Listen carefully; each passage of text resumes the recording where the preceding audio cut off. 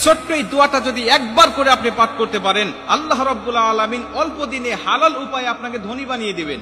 শুধু তাই নয়, বিশ্বনবী বলেছেন, ওই ব্যক্তিকে আল্লাহ পাক আরও চারটি পুরস্কার নগদে দান করে দেয়। দুনিয়ার জমিনে, দুনিয়াতেই আপনাকে পাঁচটি পুরস্কার দিবে এবং আখেরাতের জন্য তো আপনার জন্য পুরস্কার রয়েছে। অতএব এই আমলটা আমরা কেউ ছাড়বো না। দেখেন, আমরা কিন্তু সবাই নামাজ পড়ি। আমরা নামাজ পড়তেছি, এই আমলটা করার জন্য আপনাকে অতিরিক্ত কোনো ঝামেলা করতে হচ্ছে না। আপনি নামাজ আদায় করছেন, নামাজের জন্য দ্রুত অবশ্যই করবেন। আপনি নামাজের মধ্যে শুধু আগে সেজদা দুইটাই দিয়েছেন এখনও দুইটাই দিবেন। শুধু আগে এক সেজদা দিয়ে দেরি করতেন না, আবার আর এক সেজদা যাইতেন। এখন শুধুমাত্র একটু সময় নিবেন, দেরি করবেন, এই দোয়াটা পাঠ করে তারপর আরেকটা সেজদা দিবেন। এর ফলাফল কি হবে? এইটুকু আমলের বিনিময় আল্লাহ রাব্বুল আলমিন আপনাকে আল্লাহ পাক আপনাকে দুনিয়ার জমিনে পাঁচটি পুরস্কার দান করবেন। আপনাকে আল্লাহ পাক প্রথম নম্বরে রিজিক বৃদ্ধি করে দিবেন। আমরা আজকে রিজিকের প্রিলেশানিতে রিজিকের টেনশনে মানুষ হালাল উপায়ের রিজিক না খুঁজে, এখন হারাম উপায়ে ধনী হওয়ার জন্য বিভিন্ন ভাবে হারাম পন্থাগুলো তারা বেছে নিয়েছে।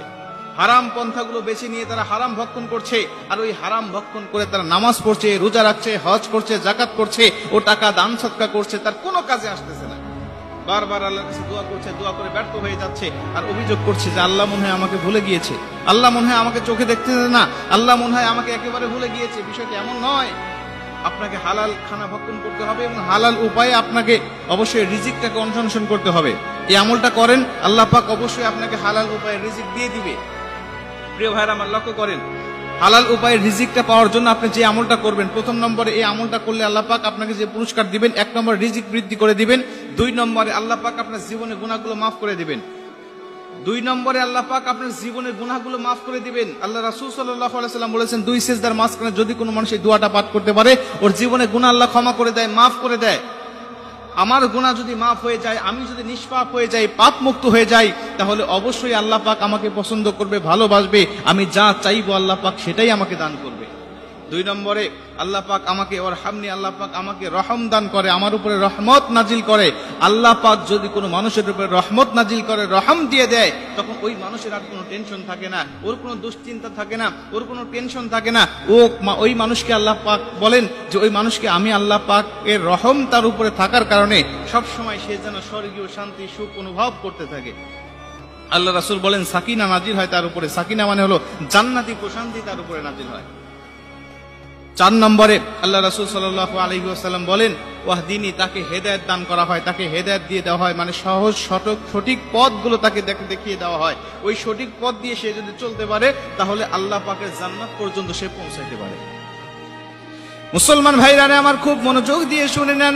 আল্লাহ রাসূল বলে দিয়েছেন, যদি কোনো মানুষ ফরজের নামাজ পড়ে, দুই সেজদা ফরজ নামাজের সময় হোক আর যে কোনো নামাজ হোক, দুই সেজদার মাঝখানে যদি এই দোয়াটা পাঠ করতে পারে, তাকে পঞ্চম নম্বরে যেই পুরস্কারটা আল্লাহ পাক দিবেন, সেটা হলো ওয়াফিনি। তার মানে হলো তাকে সুস্থতা দান করে দেয়। সুস্থতা একটা মানুষের জন্য কত বড় নিয়ামত!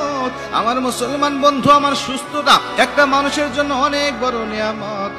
মানুষ যদি অসুস্থ থাকে, তখনই সুস্থতার নিয়ামতটা বুঝতে পারে। এ মুসলমান, কোনো মানুষ অসুস্থ হলে কোনো কিছুই তার ভালো লাগে না। খাবার দাবার থেকে শুরু করে নিয়ে সব কিছুতেই তার যেন কেমন অশান্তি শুরু হয়ে যায়। এজন্য আল্লাহ রাসূল বলে দিয়েছেন, তুমি যদি সেজদার মাঝখানে এই দোয়াটা পাঠ করতে পারো, আমার আল্লাহ তোমাকে সুস্থতা দান করে দিবে। সুস্থতা দান করে দিবে। এজন্য আমরা এই দোয়াটা পাঠ করব, সেটা হলো আল্লাহ ফিরলি আমি সর্বপ্রথম পাঠ করব আল্লাহ ফিরলি ওর হামনি ওয়াহদিনী ওর জুকনি ওয়াহফিনি এই দোয়াটা আমরা সবাই পাঠ করব। আমি আবারও বলছি, খুব মনোযোগ দিয়ে শোনেন।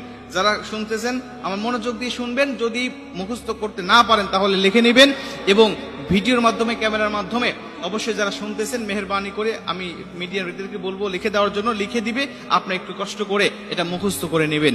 আল্লাহ ফিরলি ওর হামনি ওয়াহ ওয়াহদিনী ওর সুকনি ওয়াহ ফিনি এই দোয়াটা আপনারা পাঠ করবেন। দোয়াটা পাঠ করে আল্লাহ যা চাইবেন, আল্লাহ পাক অবশ্যই আপনাকে সেটা।